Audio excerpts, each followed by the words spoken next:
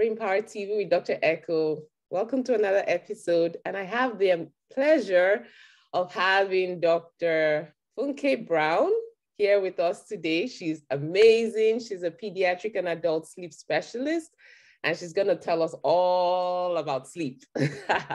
so, parents and kids, this is going to be so much fun. So, without further ado, Dr. Funke, welcome to the show. Thank you so much for having me, Dr. Eko. I'm so excited, and thank you for the work you do. It's really inspiring. Yes, thank you. You as well. So please tell us how you got to this place in your life where you're empowering parents and kids on the on this so basic but so important concept of sleep because this can make or break you, and I'm sure you would agree, right?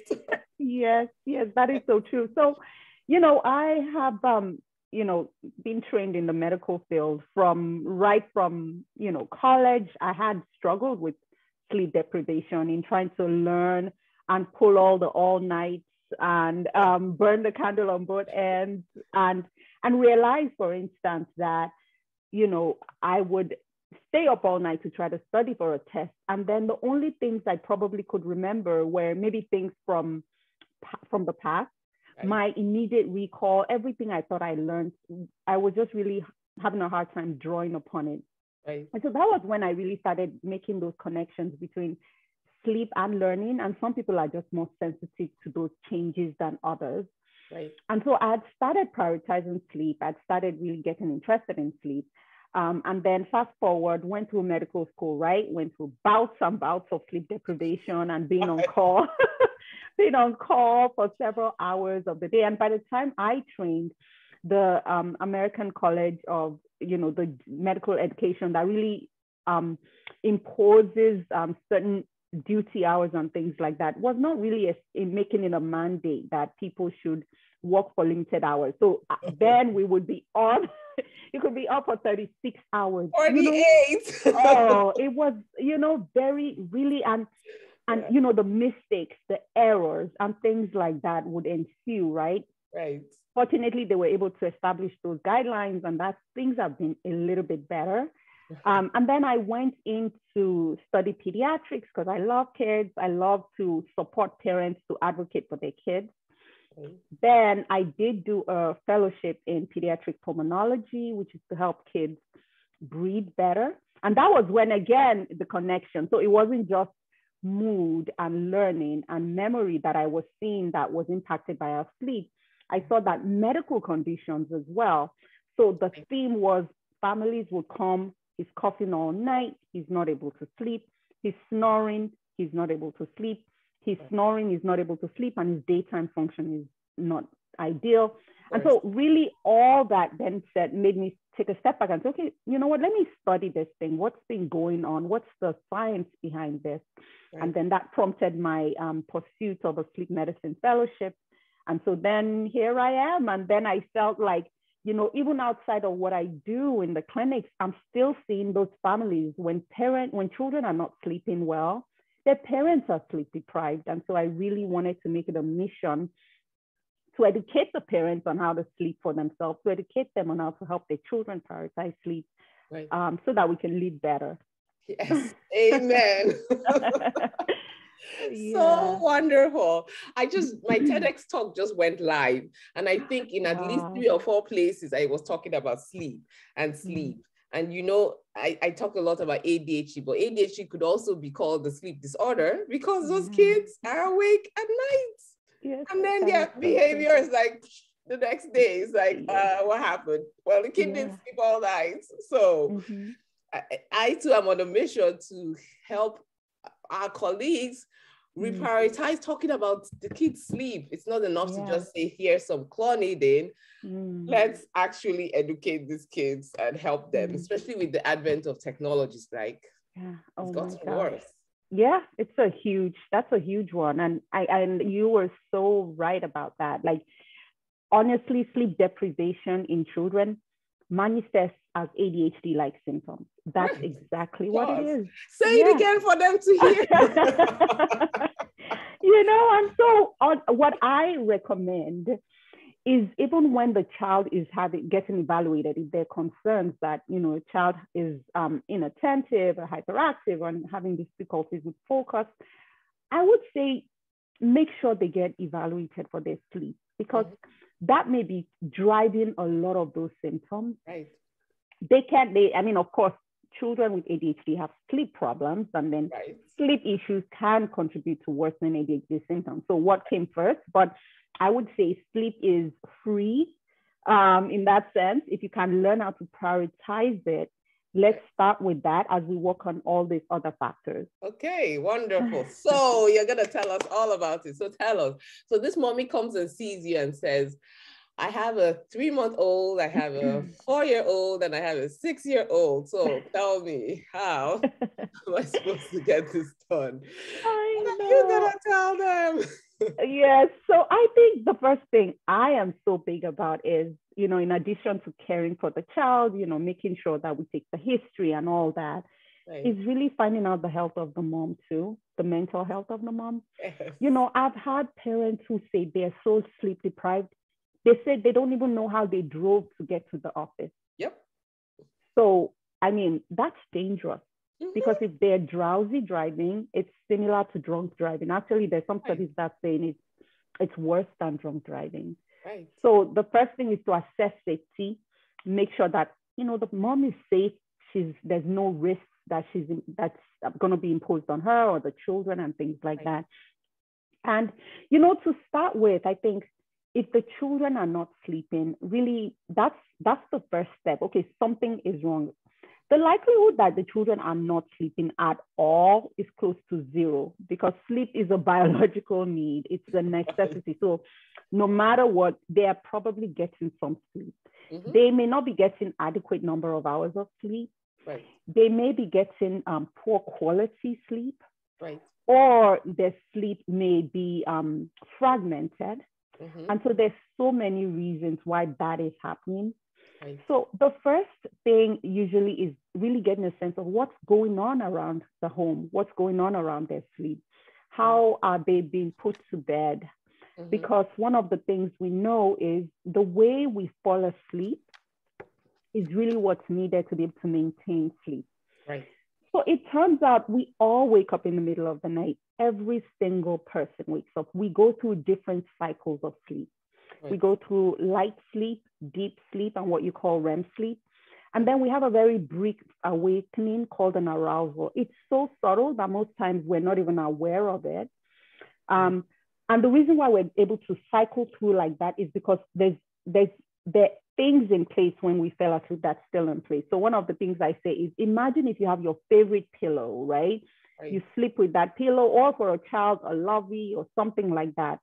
Right. Or you have a blanket over you when you fell asleep, and sometime in the middle of the night, that blanket falls. You're gonna wake up, right? And what would you do? Look for it. exactly, because all of a sudden you're more awake. You're like, something is missing. I feel cold. The way I fell asleep is absent. So you'll pick that up. Right. So we're going to look at that with kids. If right. they're falling asleep and the last time they remember was they were being rocked to sleep, if the last time they were they remember was there was a bottle in their mouth and they fell asleep. Right. When they wake up like they always do, about five times at night is normal. And that bottle is not there, that parent is not there, that rocking motion is not there, then your brain wakes up more. Of course. And so then you're seeking out that response right? Or you're seeking out that association right. to be able to fall back asleep. And so that's what the sleep associations then, or the crutches and the things like that come in. Right. That's a very common reason why kids have a hard time falling asleep. And those sleep crutches kind of present differently at different ages. So in very small children, say about four months or so, it's the rocking, it's the bottle, or so Right. For the older ones, it may be that they just like a parent to lay by them or be with them when they're falling asleep. And then for some, it's the bottle. So really identifying what do they need to fall asleep. The goal is to try to get them to fall asleep independently so that when they fall asleep independently, the last time they remembered, I was uh, there on my own. Amen. so when they wake up, they're able to say, okay, all right, right. I guess I'm just gonna go back to sleep. So, and I think one of the things I also want to encourage moms is every child can learn this. They can learn it no matter how, even children that are developing differently, children with neurodevelopmental conditions, they yes. can still learn how to sleep well. Um, so that's just one, and I'm happy to, you know, go into other causes why people can have a hard time sleeping. But oh, that's a common one Please, I hear. Go ahead. Go ahead. okay, sure. So no, so but I really, before you continue, I really, really like that point you made. Mm. That the way they fell asleep is yeah. what they're gonna wake up and look for. So yeah. parents, it may take you a month but mm-hmm. it's mm. better for you to work at that thing that small yeah. thing consistently which is yeah. getting them to sleep without anything mm. and not keep giving in it's hard mm. we're not advocating yeah. that you leave your kid to cry forever no but yes don't give up because it does it does it does happen if you keep up with it yeah if you just stick with it and and and it's um you know usually depending on the age for most kids, I mean, a lot of the studies that have been done, even if you decide to sleep train your tra- child and you want to do like the cry it out method or just the kind of the gradual method, there's been no studies to show that they have any long-term neurological, psychological um, um, sequelae. Because during the day, you're present. During the day, they feel, they know, they feel secure, they feel safe. So right. this is something, it's not like you abandon them during the day and then at night it's like, oh, you're on your own. No, they already know your mommy is going to be back in the morning, right? So right. I think that's something you always have to do. As long as they're healthy, as long as they're not in pain, as long as they don't have other conditions though that are, that's going to make them wake up, which right. then sort of takes me into the broad categories of why um, some children may have a hard time so the first category is sort of more of those, um, you know, those either behavioral things or conditions that children need. They want to, another cup of water. They want someone to rock them. You know, that's the first category, sort of behavioral. Right. The second is medical problems. So there may be medical conditions that um, children need for them to be able to stay asleep. So uh, um, I'm sorry, medical conditions that may be affecting their sleep. So if they have sleep apnea, which is common in children, mm-hmm. very common, especially between that age of two years old and about seven or eight years old, is a really common age. Although you can see it in all extremes. You can see sleep apnea in in newborns. You can see it in teenagers. Right. And essentially, what that is is um, um, upper airway obstruction, meaning your upper airway is collapsing during sleep. And so some children may snore. Nope. And what happens is then it makes their brain wake up a lot. And right. so that's a condition that has a lot of long-term effects. So that if you do have your child that's snoring persistently, has a lot of daytime um, sleepiness or other daytime problems, right. it's important to speak with your um, your pediatrician um, so that they can have that evaluated. Yes, for sure. And then the third would be things that are present in the child during the day, um, that's also present at night, right? So if you have a child who's very anxious, if you have a child who's, who has ADHD, that doesn't go away. it doesn't go away. It just has its own manifestation. If you have a child who's very testy and already limit setting during the day, they may decide to test those limits again as night. So um, we see that throughout. So again, treating and focusing on what those conditions are and making sure you try to optimize and support them the best they can can also help improve their sleep.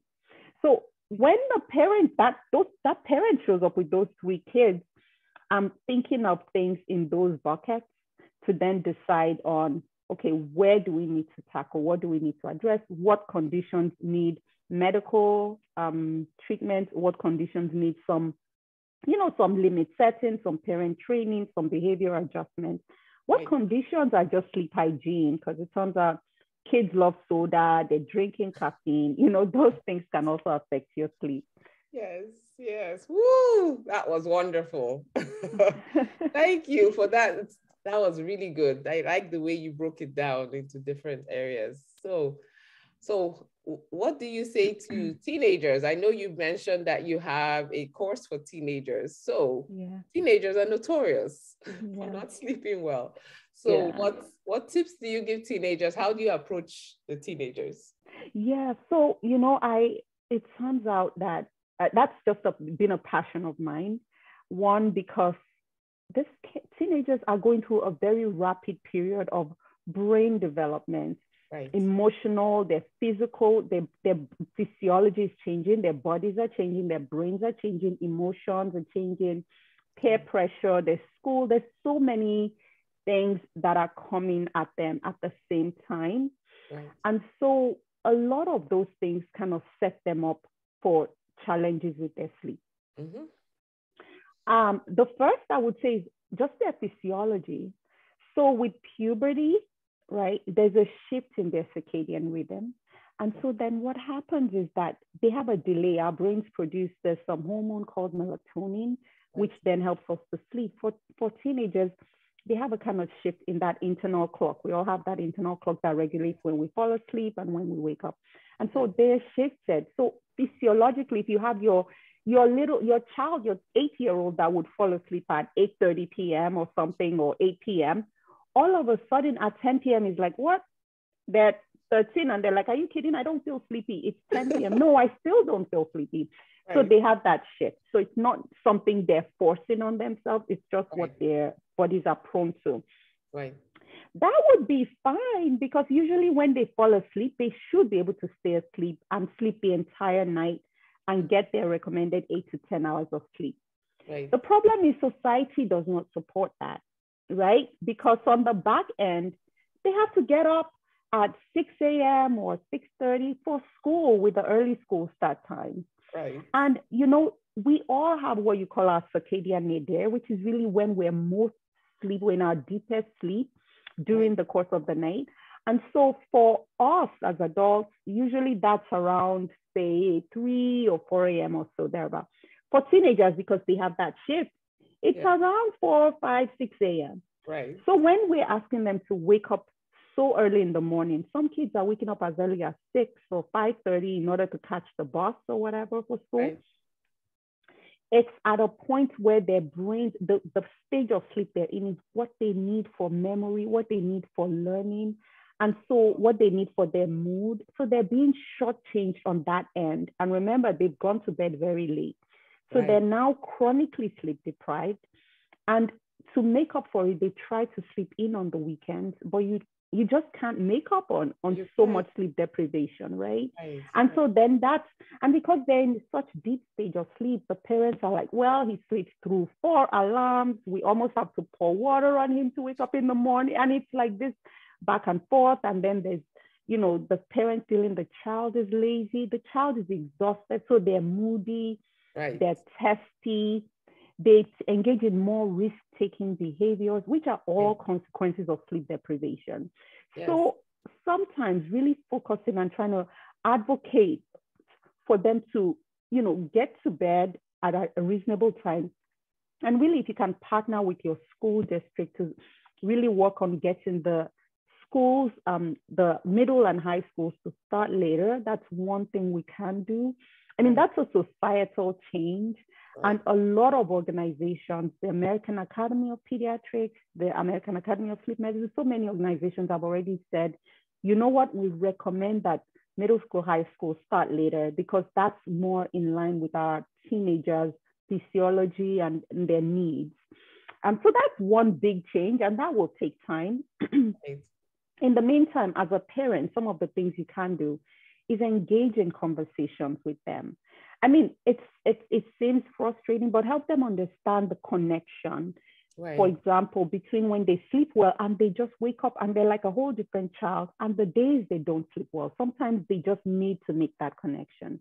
Yes, and, that's so And important. another thing, yeah, another thing is a lot of times because they're exhausted, what are they doing? They're reaching out for caffeine mm-hmm. the energy drinks, the right. soda. They're just trying to get through the day. Right. Now they've drank soda and caffeine and, and, and other caffeine containing products until dinner time because they need to get through their homework. And they need to get through all the extracurricular activity and they need to prepare for the um, AP classes the next day. Oh and then their I already minds, feel tired listening to this. and then their minds are racing because, oh my gosh, I didn't finish and all that. And so it's hard for their minds to wind down as well. So right. all those things. So some behavioral factors also contribute. some of the anxiety with just the pressure the society places on them is playing a role. And then there's the one you talked about, we talked about at the start of the day, technology, right? That's now undermining all of those things, whereby, you know, they're so connected. Um, social media, you know, right. text, group chats, all those things. There are two ways by which that impacts their sleep. One is because um, the blue light from the devices, right, from That's... the screens, right, what that does is it makes, remember we talked about that melatonin. Melatonin is released by our brains in response to darkness. It actually starts to be released in during the dusk. So when things start to get dark at night. But the light from your phones, the light from the video games, from the computers, it's a blue wavelength light that then makes the brain think, oh, it's still daylight. I'm time to wake up. So then they're not able to. So then, you know, remember they already shifted. So that even causes more of a shift. Yes. And so that's one reason because sometimes my teens will say, oh, but I have the amber light glasses or I have the blue light flick, um, split, um, filtering um, function on my phone. The other piece is just that, you know how you feel when you get a text just before you go to bed, you're like, oh, should I respond now? What am I supposed to say? Or you just feel aggravated or the notification. So a right. lot of that even also contributes to sleep disruption in them. Right. And I think that was part of that. Those, those were things I was sitting with with these teams. I'm like, how are we going to help these kids? How are we going to help them sleep better?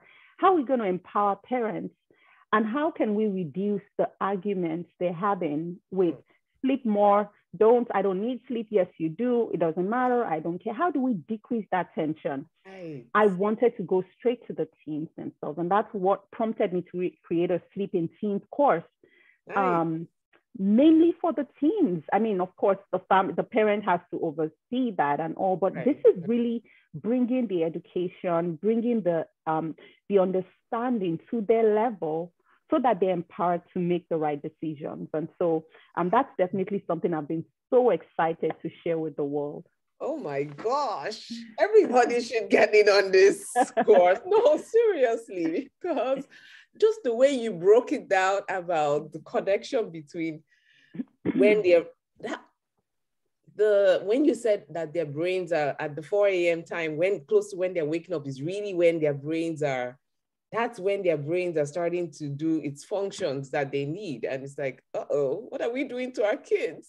Yeah, yeah. It's a it's a it's a it's a problem. Um, some schools, quite a number of schools actually have already implemented the late um, the delayed school start time for teens. You know, it's a it's a big deal, right? Because mm-hmm. that means you're going to have to flip. There's going to need need to be funding for more buses. You know, there's going to be and then you think about like after school activities. So there's a lot that's going to be involved. So it's a big undertaking. But mm-hmm. studies that already looked at communities and school districts that have been able to get this in place have seen a significant change in academics, oh, in the course. degree of sleepiness that the teens are having, right. in, in their mood, mm-hmm. in the rate of um, you know, car accidents, because that's also one big one as well because okay. teenagers driving sleepy when they're just learning to drive right. is just not a good combination. So it's a it's a big undertaking, but there are things also even before that, while you continue to advocate yeah. that you can work on on an individual yeah. level. Yeah, I was just thinking I have a 13 year old and and our school starts at seven. I'm like, oh, I need to come up with a plan here. Let's get this kid in bed. I mean, they go to bed at 8:30, but yeah, she's going into eighth, I mean, ninth, uh, sorry, okay. eighth grade, and and mm. the amount of work is increasing. So it's like yeah. getting that homework done earlier. Yeah. So she's going to bed hopefully on time. Yeah, okay. Yeah. I have, to, I have some work to do too. oh my gosh. Yeah. Well, this was so good. Let's listen to you. So, so please tell our listeners where we can find out definitely about your your course for teens and and all the amazing education you provide. Yeah, absolutely. So um, the best one of the places you could find me is on social media. I'm at Restful Sleep MD, and there I provide quite a bit of just information because knowledge is power. Yes. And then I think that's where we start because that's our first step towards transformation. So I do that. I also have a YouTube video that's um, Dr. Funke Brown. Um, and then my website is a great place to just like it pulls it all together, and that's restfulsleepmd.com. Okay. And then um, right there, restfulsleepmd.com slash courses will take you to my courses page. There you'll find the Sleep in course. And, you know, it's a self-paced course, so they can move as fast as they want or take their time. I recommend, you know, doing the course, um, maybe it's like seven modules with a workbook. So they'll be able to do some reflecting, which is mm-hmm. something that it's a skill that we all need to teach our children, not just to right. learn to learn, but to learn to make change. So there's a there's um there, there's a workbook attached, right. as well as a sleep diary. Um, and the sleep diary just helps give more objective information on how they're doing with their sleep and right. how that changes over time. So that would be those are places you could definitely find me. Okay, and she did not mention this one. Let me show you. Yeah. this. You see the shirts?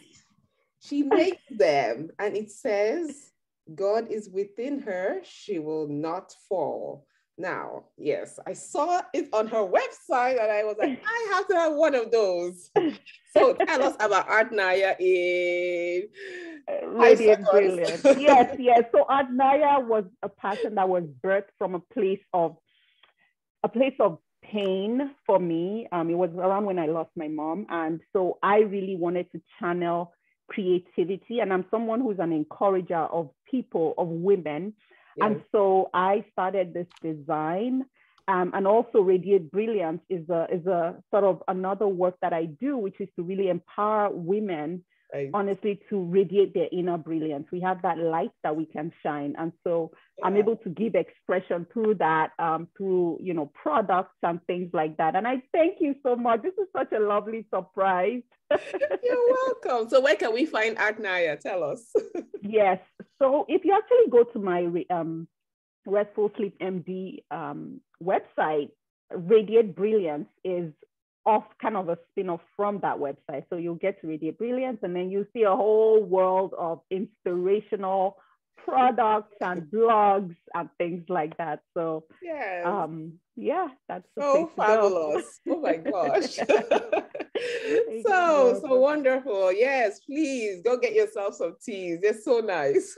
and yes, I, I looked at her blogs, very, very inspirational. So mommies, daddies, I hope you learned as much as I did from this. And, you know, like she said, have conversations, especially with the teenagers, and work things out with them instead of you, you, you, you, you, which I'll be guilty, I've done. So, um, so yes, uh, thank you so much, Dr. Funke, for coming on here.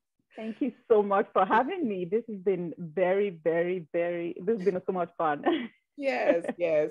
And so to our friends, I wish you a wonderful week ahead and see you on the next episode.